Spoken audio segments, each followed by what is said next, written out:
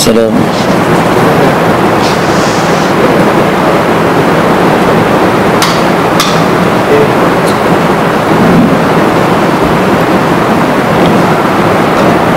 السلام عليكم ورحمة الله وبركاته.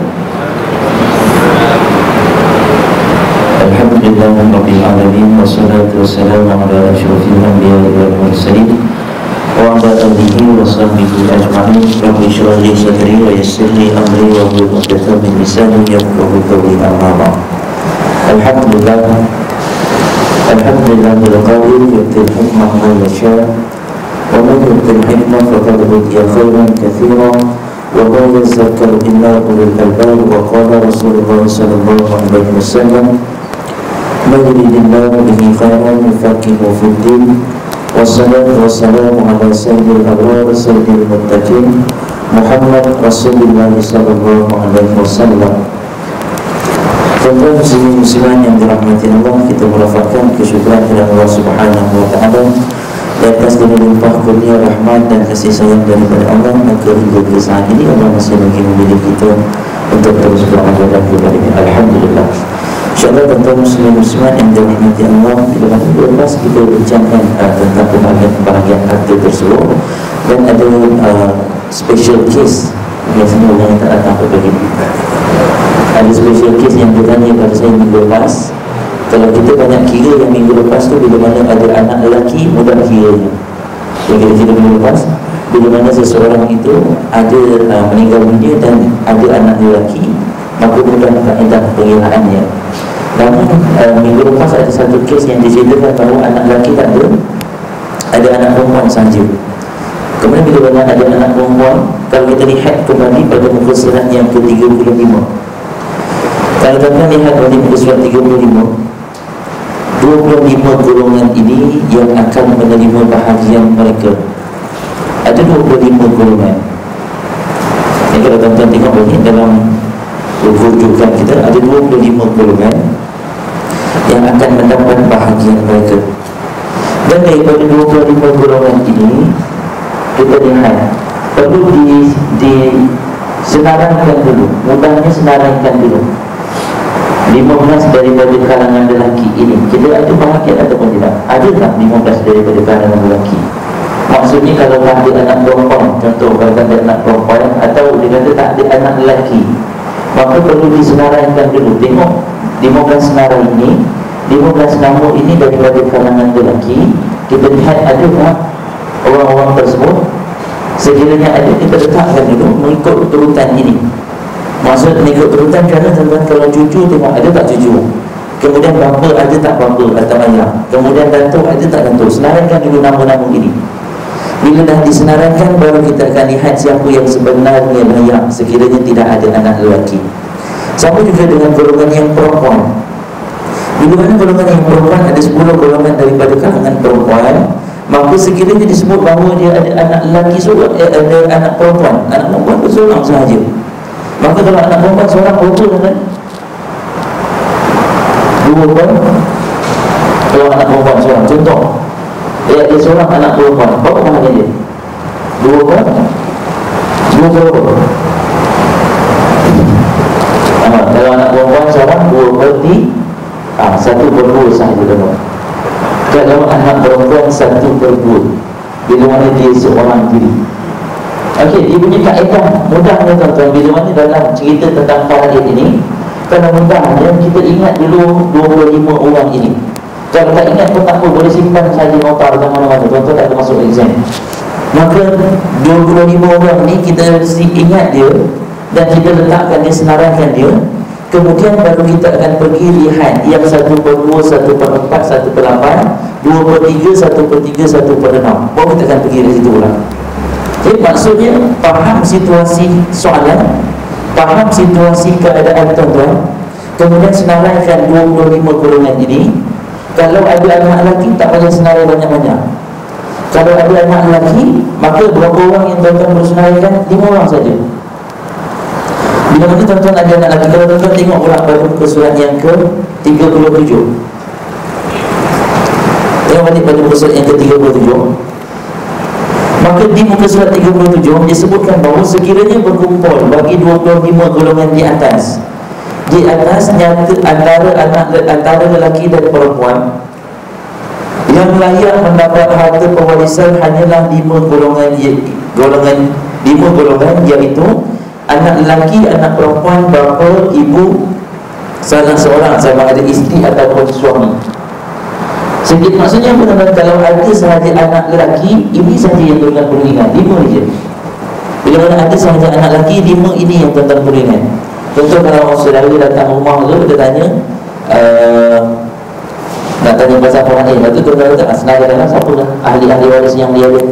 Bila mana dia letak sahaja anak lelaki Maka tanya lima orang tu Itu aja Mudah Dia punya sifat mudah untuk kita Kita ingat Ada sahaja anak lelaki ah, Lima orang je Okay sebab bila mana ada anak lelaki seperti mana yang kita faham? Golongan-golongan yang menghalang Hijab. Hijab dia kan ada dua. Ingat lagi tuan hijab ada dua. Sama ada hijab secara nyata Ataupun hijab sebahagian. Apa maksud hijab secara nyata? Contoh Wujudnya anak lelaki Dia menghijab Adik-beradik si mati Untuk mendapat bahagian. Itu hijab secara nyata. Hijab firman. Kalau hijab nuksan Iaitu hijab separuh sahaja. Apa maksud hijab separuh? Contoh Anak perempuan kadang seorang Dia dapat satu ber. Anak perempuan seorang Satu ber. Satu ber dua Maka bila mana kalau dia seorang satu ber dua Asalnya dia satu ber dua Yang dipanggil hijab nuksan daripada satu ber dua Dia akan jadi dua ber tiga. Maksudnya bahagian mereka akan kurang. Jadi bila mana dia Dua orang atau lebih. Ataupun contoh Bila mana anak lelaki Anak lelaki dapat berapa bahagian? Satu per Kalau anak lelaki satu per Anak lelaki asobah ha, Dia tak ada bahagian satu per dua, satu per empat, satu per enam semua tu. Anak lelaki asobah Maka anak perempuan tadi kita sebut bahawa dia adalah satu per dua Kalau dia seorang Atau kalau dia lebih adalah dua per tiga Namun bahagiannya ini terhijab Nuksan bila mana anak lelaki ada bersama dengan dia. Maksudnya ada adik-beradik lelaki bersama dengan dia. Contoh si bapa meninggal dunia Bapa mati meninggalkan anak perempuan satu, anak lelaki satu. Maksudnya dia adik-beradik dah Bila dia adik-beradik yang tadi sepatutnya satu berdua separuh daripada harta perempuan Kalau dia seorang.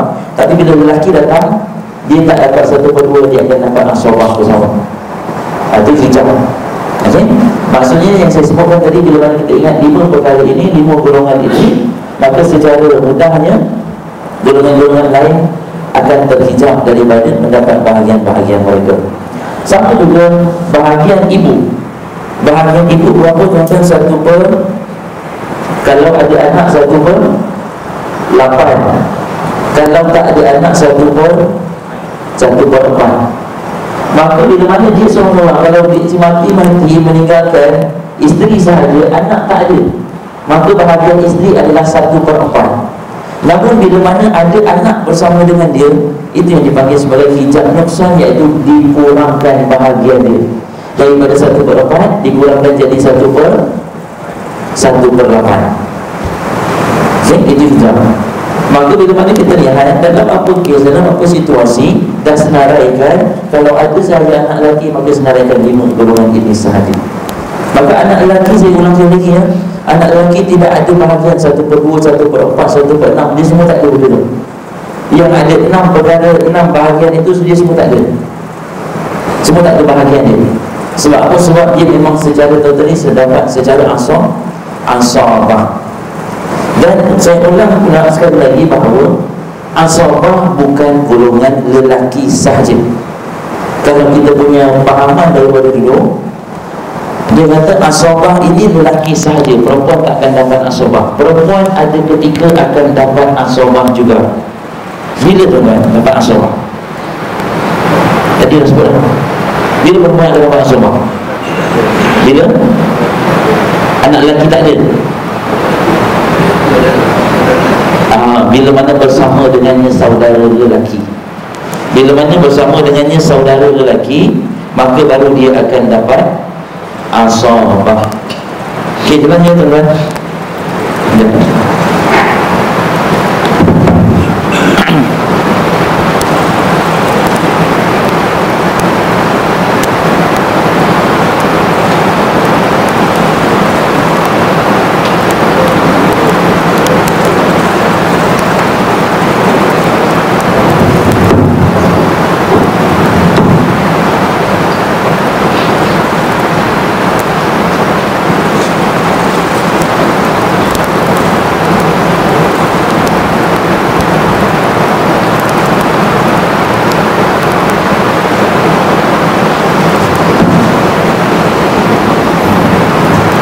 bukan lelaki saya ulang saya lagi bukan lelaki sahaja yang mendapat asobah tetapi perempuan juga akan dapat asobah dalam keadaan ataupun kes-kes yang tertentu.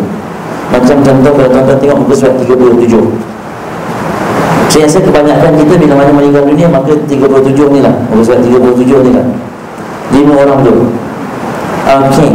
Sekiranya anak lelaki kalau kita tengok eh, dalam muka surat 37 tu ada anak lelaki anak lelaki anak perempuan kemudian bapa ibu uh, di sini isteri.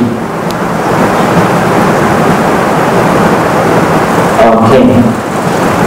Uh, maka pagi ni kita buat quiz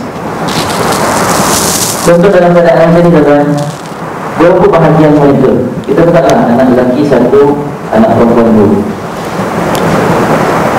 Lepas tu bapa ibu dan juga isteri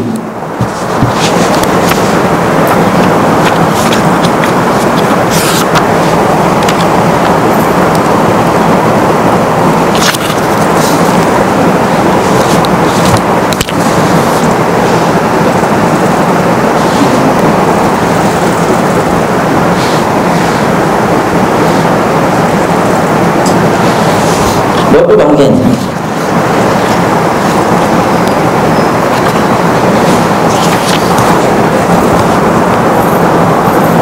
Ini yang biasa Kalau kita tengok 25 5 yang tinggal Berapa bahagian anak lelaki?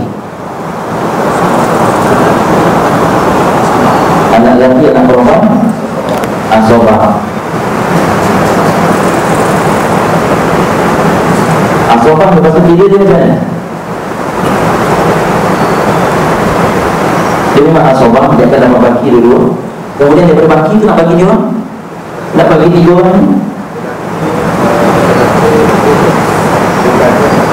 Ah, lelaki dua bahagian, perempuan satu bahagian Maka dua, nisbah satu. Okey, kita ingat bila mana lelaki dan perempuan ini asobah bersama. Okay, bila mana mereka bersama Maka bahagiannya adalah ini. Dua nisbah satu. Dan macam mana nak kira dua nisbah satu orang? Lelaki dan perempuan Satu. Perempuan ada berapa? Dua. Maka kita nak yang satu darah dua. Dua, dua dan satu. Dua. Empat kali Okey. Keren Okey. Anak ni untuk Empat bahagian ni untuk anak lelaki dan perempuan. Eh sebab pun empat ni dua orang. Tapi ini walaupun seorang. Kan dia tiga dengan dua kan Dua, dua, dua, uh, dua tambah dua adalah empat. Mungkin boleh uh, Dan kemudian berapa dapat berapa bahagian Satu per Kan dia satu per enam Ah, betul satu per enam Ibu? Ibu satu per enam Ah, betul boleh tengok dalam rentang masing-masing. Dalam pembagian tu yang kita tengok. Muka sebab apa tuan-tuan Yang bahagian-pembagian harga ni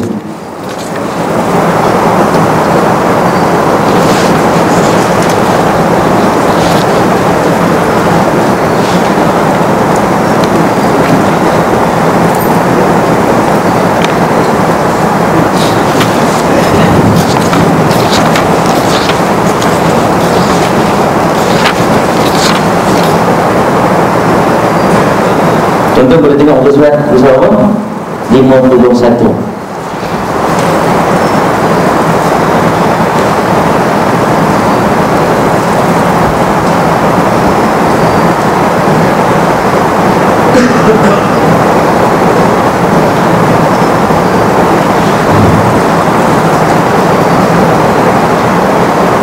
Betul tak? Tuan-tuan satu enam.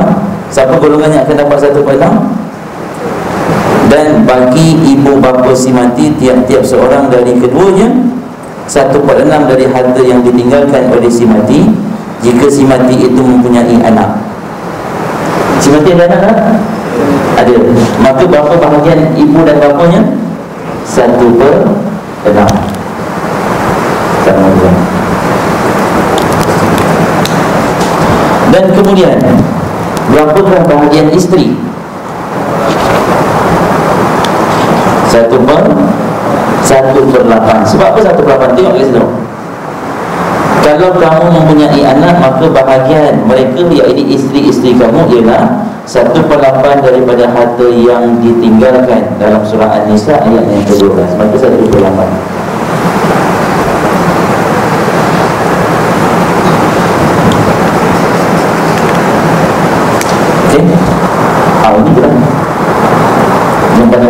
belajar daripada bulan berapa itu? Kita start lebih kurang daripada bulan 10 uh, ah, maka ini sahaja dia punya kesimpulan dia. Ini sahaja dia punya uh, kaedah pengiraan. Apa? Dia? contoh pengiraan. Ok satu juta bila dalam keadaan macam ni?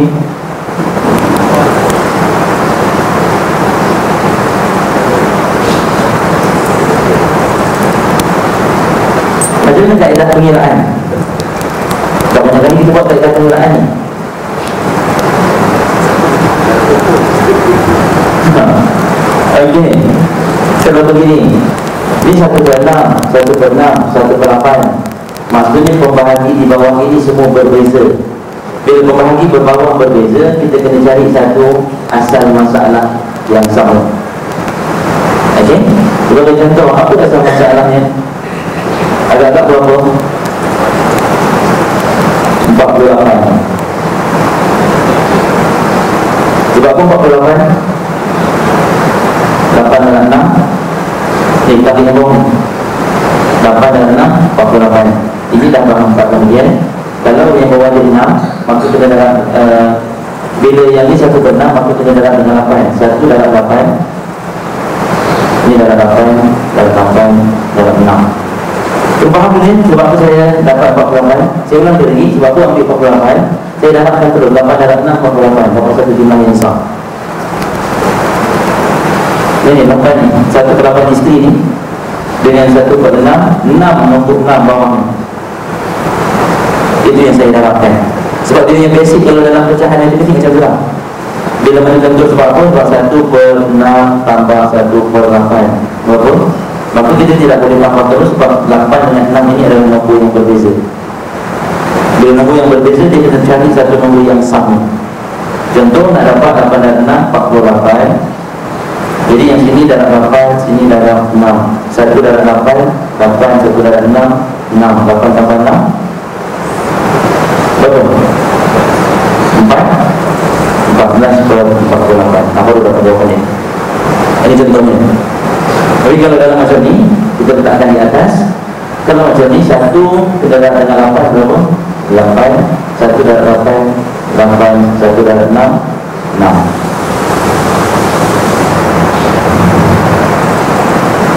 Okay Maka yang di sini empat kan? Sebab dia dua. Dua untuk lelaki dan dua untuk perempuan. Okey boleh? jelas? okey.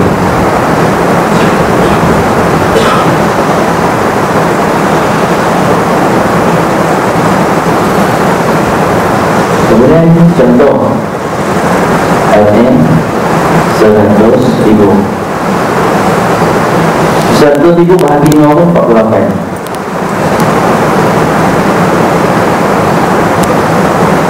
Sebab apa bahagi dengan puluh lapan Sebab kita dah ambil asal masalah di sini puluh lapan Jadi kita nak dapat satu bahagian tu berapa Maka seratus ribu bagi puluh lapan Kita akan dapat berapa satu bahagian tu berapa RM Kemudian kita dah dapat satu bahagian berapa RM Baru kita dapat dengan 8, dapat dengan 8, dapat dengan 6 dan bakinya bagi kita bagikan antara dua orang. Okey, boleh dengar? Masih dua orang lebih daripada anak lelaki dan anak perempuan. Ini kita kena ingat ni asbab. Ini cuma pembahagian dia secara detail anak lelaki berapa, anak perempuan berapa. Okey, kalau kita cuba contoh tuan-tuan. 100 ribu bagi 48 berapa?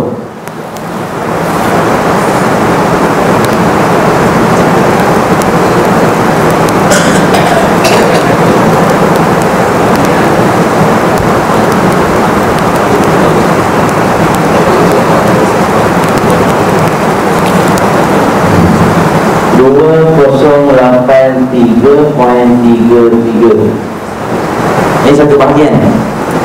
Maka kalau nak tahu bahagian berapa berapa?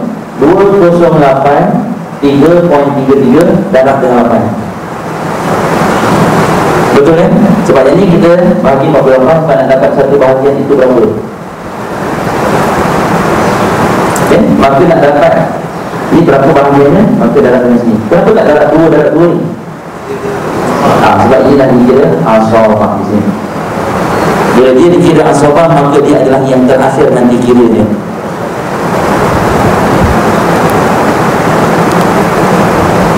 Berapa kalau 208 3 Poin 33 darab 8 2 kosong 8 3 Poin 33 darab 8 16 16 666 poin 64 Okey Ini bahagian yang akan didapat dapat? Bapak Mak dia berapa?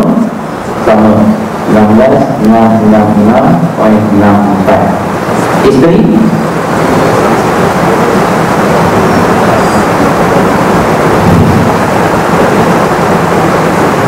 dua kosong lapan tiga tiga poin tiga tiga darab dengan enam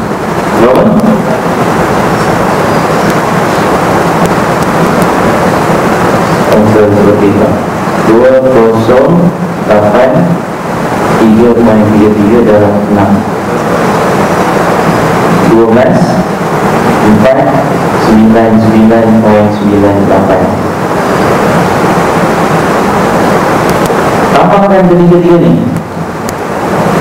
Tambah 16 1, 2, 3, 4 Dalam 2 Berapa? Kalau kita tambah 1, 2, 3 45,833 26 sen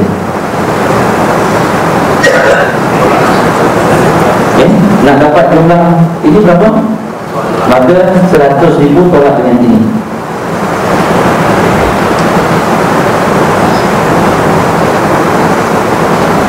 berapa banyak ini? 54 166 poin tujuh tempat kalau satu juta tambah lagi sikit lah ya boleh ke eh? kalau kira sendiri-sendiri boleh ni Ya, tu je bagi empat lah Ah, asobah tu lima empat empat tu bagi empat lah lima empat empat bagi empat berapa? tiga belas poin dia bila lima empat empat empat Berapa bahagian dia?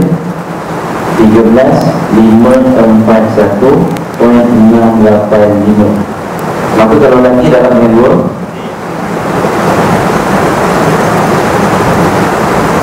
Dua puluh tujuh Kosong lapan tiga Poin tiga tujuh. Kalau yang perempuan 13.541.685 setiap seorang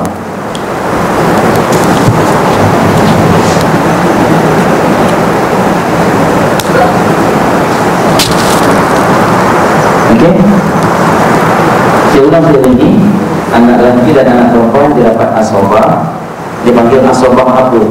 Memang dapat asobah? Tapi asobah itu ada tiga jenis. Asobah itu ada tiga Dia ada tiga. Jadi asabah adik-adik sulung tu nombor dua ke nombor tiga? Nombor apa tuan-tuan? Ha, ini nombor nombor dua. Adik-adik yang kedua iaitu asabah bil ghair Dia asabah bin nafsi Asabah bil ghair Asabah ma'al ghair Asabah bin nafsi bila mana anak lelaki seorang-seorang. Okey, maka dia dapat asabah bin nafsi. Dan asabah bil ghair Maksudnya bersama dengan dia ini. Lelaki bersama dengan perempuan. Okay? dan contoh dia tak ada anak lelaki tapi ada adik beradik lelaki dan perempuan maka dia orang pun bila mana bersama dia akan dapat asobah okay? dia akan dapat asobah kemudian asobah yang ketiga adalah asobah ma'al ghair Asabah ma'al ghair ini adalah bila mana lelaki semua tak ada Yang ada adalah perempuan. Maka ada beberapa golongan perempuan yang mereka bila mana mereka bersama Mereka akan dapat pembahagian secara secara asal Okey, baku satu per enam. Tuan-tuan dah tengok tadi Tuan-tuan dah cek sendiri tadi pada muka surat yang ke-51 Kadang-kadang yang mereka dapat. Bapa akan dapat satu per enam Bila mana ada Ada Ada anak Okey, maksudnya tuan-tuan Dia kan satu per dua Sebahagian daripada satu per dua Satu per empat Sebahagian daripada satu per empat Satu per lapan Dua per tiga Sebahagiannya Satu per tiga Sebahagiannya Satu per enam Maka kalau gini Bila mana ada anak lelaki sahaja bapa Daripada satu per tiga Dia akan turun jadi satu per enam Ini turutan ni Tuan-tuan mudah Tuan-tuan uh, mudahnya ingat turutan yang macam ni. Sebab apa dia ada kesan di sini. Mudah tak faham nanti Tadi yang mula-mula suami dapat satu per dua Sebagai contoh Bila mana ada anak Dari satu per dua dia turun satu per Ada turun satu tangga Dia tak turun dua tiga tangga. Apa-apa kejadian semua dia akan turun satu tangga saja. Kalau macam anak perempuan uh, Contoh Ibu adalah satu per tiga Namun bila mana si mati ada anak Dia turun satu tangga dia satu per Maksudnya formula ni mudah untuk dia faham Yang ini. Dalam apa-apa keadaan Duduk formula ni. Jadi bapa pun ibu pun satu per enam Sebab apa? Asalnya dia satu tiga. Tapi dia turun ke bawah jadi satu per enam Sebab apa? Sebab ada Ada anak. Tak kira sama ada anak lelaki ataupun anak perempuan. Kemudian isteri satu per lapan Habis itu kalau ada tiga orang isteri. Contoh. Jadi tiga per lapan tu macam mana? Macam mana tuan? Ah, cuba tengok balik pada muka surat 52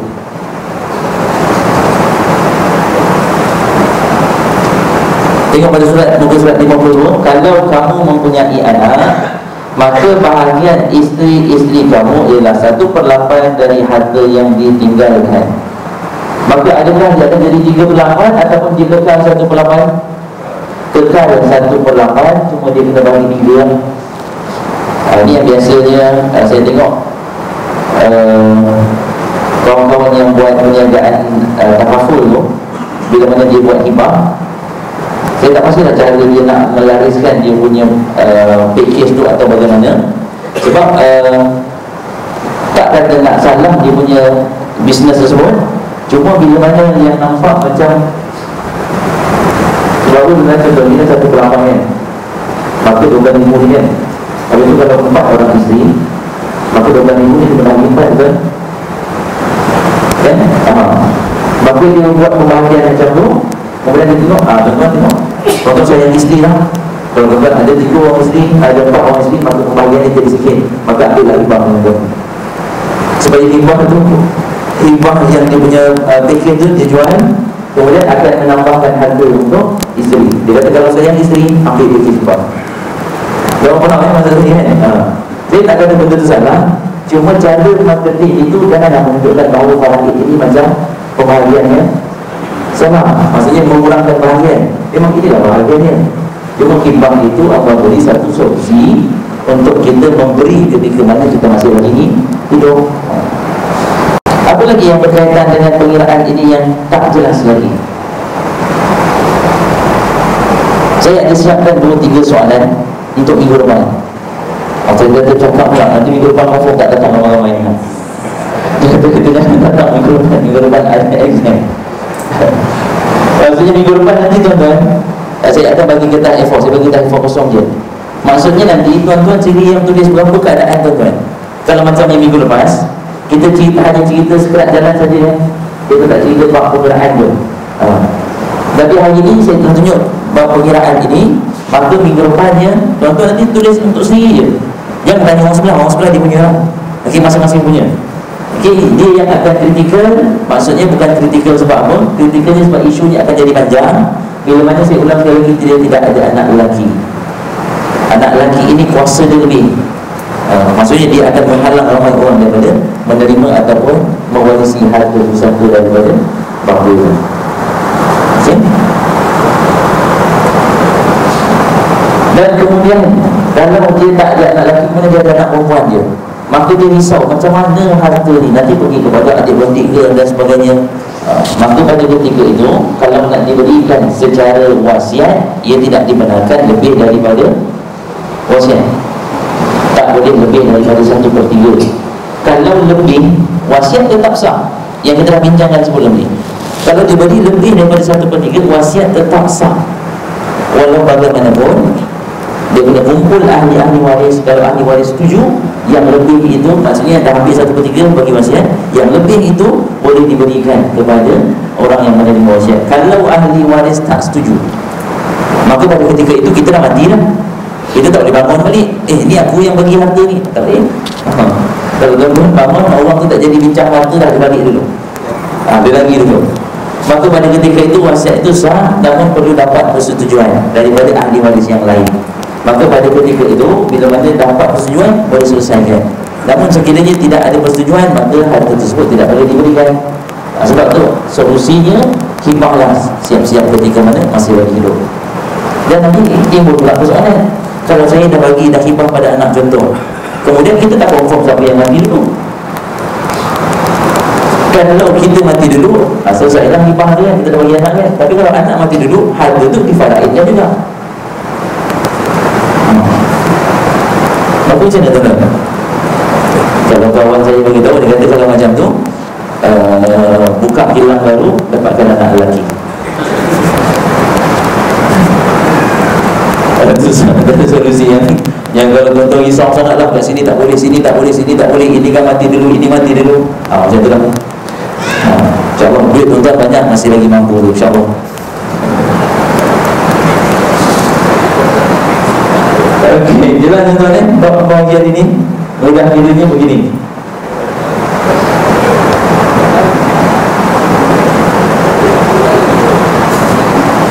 Ya insyaAllah tuan-tuan muslimin muslimat yang dirahmati Allah Maka dia punya basic Tuan-tuan ingat yang keenam ini. Kalau enam ini tuan-tuan tak ingat pun tak apa Cuma ingat satu per dua dengan satu per tiga atas dia sahaja. Maka bila mana daripada atas dia Kalau satu per dua turun satu tangga jadi satu per empat Daripada tangga kedua turun tangga ketiga dapat satu per lapan. Kalau dua per tiga turun satu tangga satu per tiga Turun satu tangga satu per enam. Maka ini sahaja yang tuan-tuan perlu ingat. Dan kemudian tuan-tuan ingat keadaan asobah. Asobah itu apa? Baki. Mana asobah itu? Asobah yang tadi kita sebut ada tiga. Biasanya asobah kalau ada anak lelaki dia pergi asobah yang nombor dua. Asobah nombor dua ini apa? Bila mana lelaki dan perempuan dia duduk sama Maka dia dapat asobah kalau asobah yang pertama, asobah apa? Lelaki seorang-seorang diri sahaja. Contoh tak ada anak perempuan? Maka lelaki. Baki adalah Milik lelaki yang akan dapat bahagian tersebut. Maka itu asobah yang dulu Itu sahaja. Kalau meninggal orang bujang. Ha, Kalau meninggal bujang Maka tuan-tuan Buka balik muka surat yang ke 35 Kalau dia bujang Dan dia meninggal dunia dan pada ketika itu siapa yang akan mewarisi harta-hartanya itu?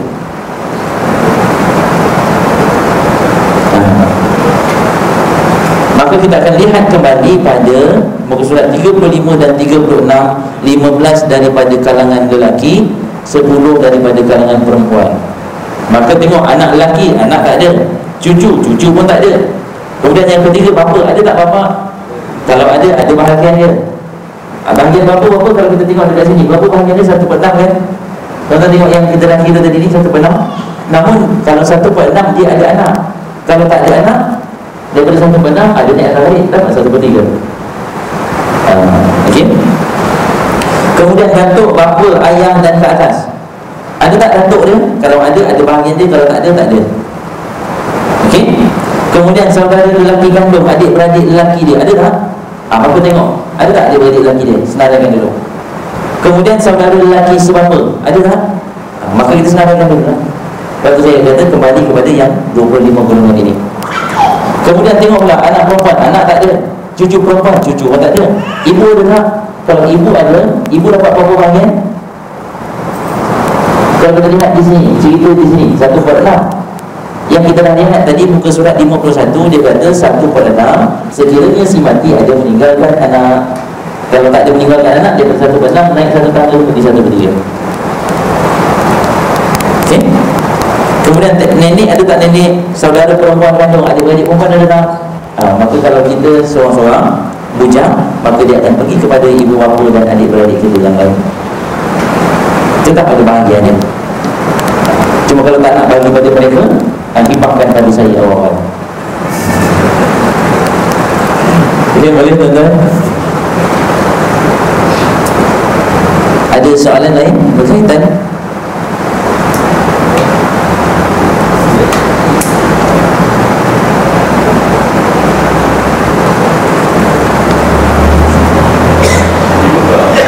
Jadi tuan-tuan muslimin muslimat yang dirahmati Allah kita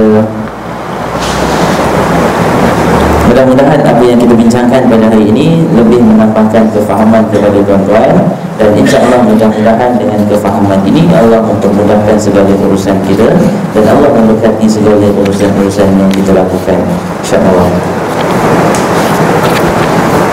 Boleh tengok dulu. Ada apa pula tanya tak? Ya. Okey, rumah. Kalau rumah gerak. Okey, jadi tuan-tuan muslimin muslimat yang dirahmati Allah, kita ada menyebutkan bahawa sebelum ini harta itu terbahagi pada dua. Sama ada harta adik ataupun harta tidak adik. Harta adik ni macam mana contoh? Duit, emas, emas yang tuan-tuan simpan bawah katil apa semua tu kan? Aha, emas dan sebagainya. Maka itu adalah harta adik yang boleh dialihkan. Dan kemudian harta tak alih. Harta tak alih ni apa? Harta yang tidak boleh dialih, tak boleh dialihkan. Maka walaupun harta tu boleh alih ke Harta tak boleh alih ke Maka kedua-duanya adalah jenis harta Yang akan dipusakai oleh golongan-golongan tertentu. Maka kalau emas dan sebagainya Macam mana Kalau contohnya dia bagi tinggalkan rantai Besar lebar Waktu panjangnya satu meter tu. Macam mana nak bahagi tu? Ke tuan-tuan potong ikut sama panjang. Nah, maka dia dinilaikan. Maksudnya dinilaikan berapa Kemudian tanya dengan adik-beradik yang lain Ada tak yang nak beli? Nah, kalau dia nak beli Kalau nak bagi diskaun tu Terpulang pada ahli waris lah. Maksudnya dia pun jual Ada seorang adik beli. Maka daripada duit itu baru di Dibahagi-bahagikan. Itu kalau harta Tak alih eh, Sorry Itu kalau harta alih Dan kalau harta tidak alih Sebagai contoh sebiji rumah. Sebiji rumah. Macam mana sebiji rumah? Ke dalam rumah tu tuan-tuan Ukur berapa kaki meter persegi Lepas tu ambil selotip tu Selotip merah kan. Ha, Letak ni bahagian kau Ni bahagian kau Ni bahagian kau.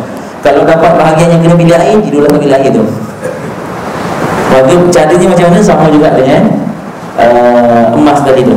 Dinilaikan Maka kalau ada adik-beradik yang nak beli Maka jual dengan adik-beradik Kemudian nilai itu dibahagikan Itu berada pada dia kalau tak mampu untuk beri adik-beradik lain maksudnya tak ada tak ada orang pun yang mampu nak beli? Hmm. kalau dalam keadaan macam ni ini, ini yang selalu berlaku. Kalau tuan-tuan jadi keadaan macam tu tuan-tuan nak buat apa? Jual dengan orang lain je. Kalau jual orang lain biasa adik-beradik kata sayang ni rumah mak ayah kita ni mana tuan-tuan? Maka pada ketika itu akan mengikut kepada persetujuan adik-beradik tu. Persetujuan ahli-ahli waris tu. Kalau rumah tu nak jadikan rumah pusaka dan sebagainya Nak tinggal macam tu je ha, Maka tinggal lah Yes. Itu yang akan timbulnya nanti. Bila mana daripada adik-beradik ni Dan bersetuju macam tu Kemudian bila mana Takkan semua masih hidup sampai selama-lamanya. Maka yang yang orang-orang ni akan meninggal dia Kemudian Biasanya tapak rumah rumah itu akan ada satu penama. Maka kena pula itu adalah pemegang amanah bukan pemilik. Itu yang disebutkan bahawa kalau harta pusaka tidak diuruskan dia akan jadi berlapis macam tu. Bila mana dalam keadaan begitu kena adalah hitam putih itu yang sebaiknya. Itu yang sebaiknya yang, dan itu adalah perkara yang terbaik. Ada hitam putih. Supaya bila mana pergi lapis kedua lapis pangkat-pangkat cucu semua Kemudian Yelah dulu pun sama-sama ni Malah duduk sama dengan sepupu-sepupu semua Lepas tu bila mana masing-masing dah besar Kemudian dah apa semua Kemudian ada pula tengok Eh ini geran rumah atuk tu ni. Eh nama bapak tu? Bapak aku dah beli tadi kot ha. Maka dia pula pergi tengok bapak dia, uh, bapak dia pula dah mati. Maka adakah rumah tu akan berpindah milik pada dia. Bukan milik dia. Tetapi itu masih lagi harta pusaka Harta bersama.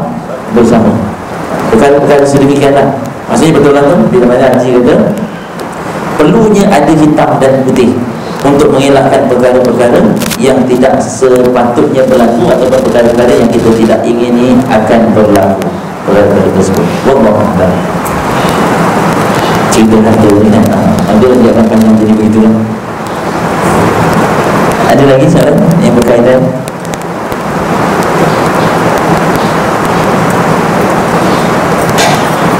Alhamdulillah tuan-tuan muslimin muslimat yang dirahmati Allah Mudah-mudahan yang kita kongsikan ada manfaat Dan perkara-perkara yang boleh kita ambil Dan kita amalkan serta kita gunakan dalam kehidupan seharian. Dan mudah-mudahan tuan-tuan muslimin muslimat yang dirahmati Allah Allah limpahkan kepada kita berbagai bentuk rezeki. Sebagai contoh daripada segi harta benda yang kita ada Maka adalah rezeki daripada Allah subhanahu wa ta'ala. Cuma nak melihat di mana kita dah meninggal dunia itu Maka kita tidak bawa harta-harta itu Tetapi kita bawa adalah manfaat daripada harta. Kan bila mana kita mati, kita meninggal dunia Dan masuk dalam lubang kubur Kita tak bawa harta apa semua Tetapi kita bawa manfaat daripada harta itu. Apa maksud bawa manfaat daripada harta itu? Bagaimana harta-harta yang kita ada Manfaatnya kita gunakan ke arah pun Dan amalan itulah yang akan jadi bekal kepada kita. Maka bila mana kita mati pun Bila mana kita dah terangkan kepada anak-anak isteri dan sebagainya Tentang perkara sedemikian Maksudnya tidak akan ada timbulnya pergaduhan Dan perkara-perkara yang tak diingini Maka semuanya akan memberi manfaat kepada kepada diri kita. Wallahu'ala bisawab. Assalamualaikum ورحمة الله وبركاته. أعوذ بالله من الشيطان الرجيم. بسم الله الرحمن الرحيم.